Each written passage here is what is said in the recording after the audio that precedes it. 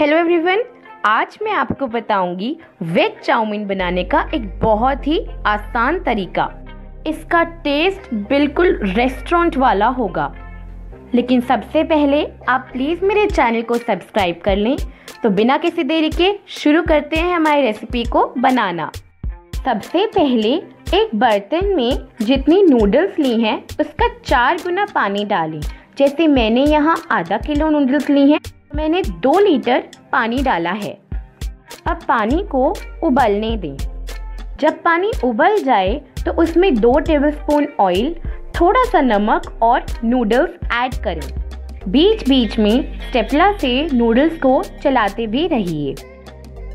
हमारी नूडल्स अब पक गई हैं। हम इन्हें छान लेंगे। एक बार ठंडे पानी से भी नूडल्स को धो लें। इससे हमारी नूडल्स टूटती नहीं हैं। अब एक कढ़ाई लें। मैंने यहाँ पे लोहे की कढ़ाई ली है। चाउमीन बनाने के लिए लोहे की कढ़ाई ही रिकमेंड की जाती है। अब तेल ऐड करें। मैंने यहाँ आधा किलो नूडल्स के लिए दो कड़छी तेल डाला है। जब तेल गर्म हो जाए तो उसमें चार से पाँच कली बारीक कटा हुआ लहसुन ऐड करें और तीन बारीक लंबे लंबे कटे हुए प्याज डालें। इन्हें गोल्डन ब्राउन होने तक भूनें।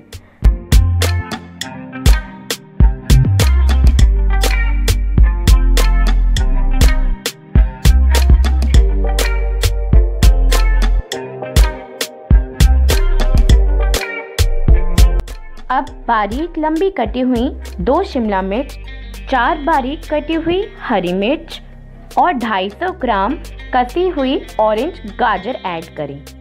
गाजर को कसना बहुत ही आसान होता है और इससे इसका स्वाद बहुत ही अच्छा आता है। हम इसमें आधा छोटी चम्मच अजीनोमेटो भी ऐड करेंगे। इससे चाउमीन का टेस्ट बहुत ही उभर कर आता है। अब तीन tablespoon tomato sauce green chilli sauce red chilli sauce और तीन ही टेबलस्पून सोया सॉस ऐड करें। मैं यहाँ थोड़ा सा रेड चिली पाउडर भी ऐड कर रही हूँ। आप चाहें तो इसे स्किप भी कर सकते हैं। अब दो नींबू का रस ऐड करें। मैंने विनेगर की जगह यहाँ पे नींबू का रस लिया है।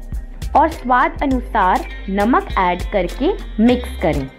अब टाइम है नूडल्स ऐड करने का। नूडल्स ऐड करें और मिक्स करें।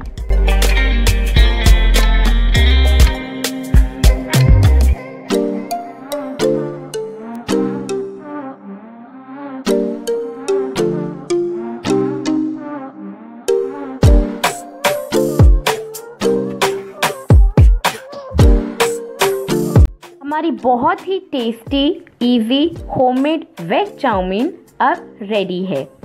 आप भी इसे बनाइए, इसका टेस्ट बहुत ही अच्छा आएगा। बिल्कुल रेस्टोरेंट वाला। आप प्लीज़ मेरे चैनल को सब्सक्राइब करें और वीडियो अच्छा लगने पर उसे लाइक शेयर और कमेंट भी करें।